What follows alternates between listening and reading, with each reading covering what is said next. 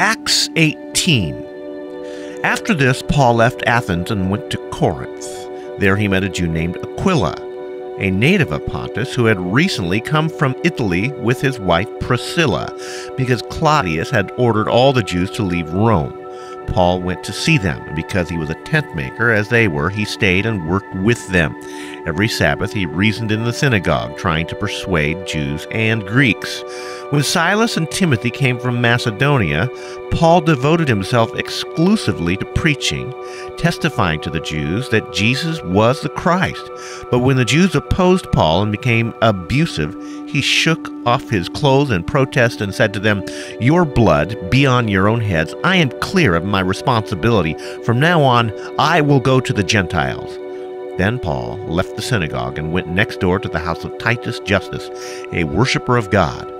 Crispus, the synagogue ruler, and his entire household believed in the Lord, and many of the Corinthians who heard him believed and were baptized.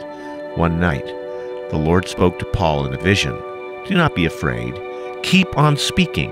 Do not be silent, for I am with you, and no one is going to attack and harm you, because I have many people in this city. So Paul stayed for a year and a half, teaching them the Word of God.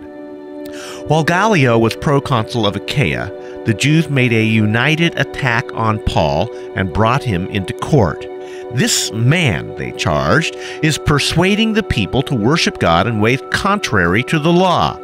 Just as Paul was about to speak, Gallio said to the Jews, If you Jews were making a complaint about some misdemeanor or serious crime, it would be reasonable for me to listen to you. But since it involves questions about words and names and about your own law, settle the matter yourselves. I will not be a judge of such things. So he had them ejected from the court. Then they all turned on Sosthenes, the synagogue ruler, and beat him in front of the court.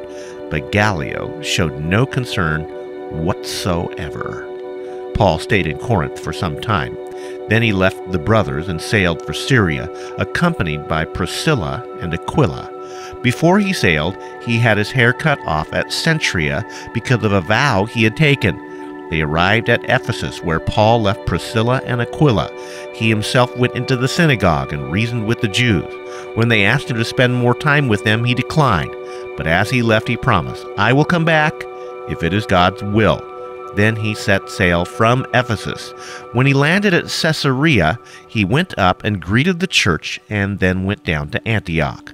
After spending some time in Antioch, Paul set out from there and traveled from place to place throughout the region of Galatia and Phrygia, strengthening all the disciples. Meanwhile, a Jew named Apollos, a native of Alexandria, came to Ephesus. He was a learned man with a thorough knowledge of the Scriptures.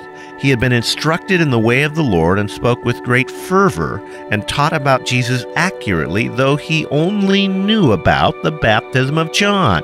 He began to speak boldly in the synagogue. When Priscilla and Aquila heard him, they invited him to their home and explained to him the way of God more adequately. When Apollos wanted to go to Achaia, the brothers encouraged him and wrote to the disciples there to welcome him. On arriving, he was a great help to those who by grace had believed, for he vigorously refuted the Jews in public debate, proving from the Scriptures that Jesus was the Christ.